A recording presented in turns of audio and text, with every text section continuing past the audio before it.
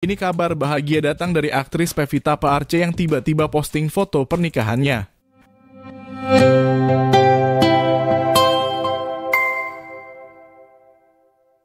Usai Irish Bella, kini kabar bahagia datang dari aktris Pevita Paarce yang tiba-tiba posting foto pernikahannya.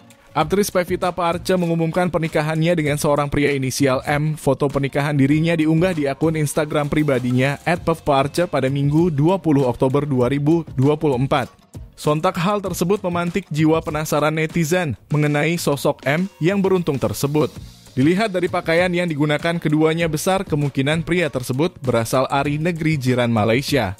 Kolom komentarnya pun dibanjiri ucapan selamat dari rekan sesama artis dan penggemarnya. Tak kalah heboh netizen pria yang ikut berkomentar mengaku kesal dan patah hati.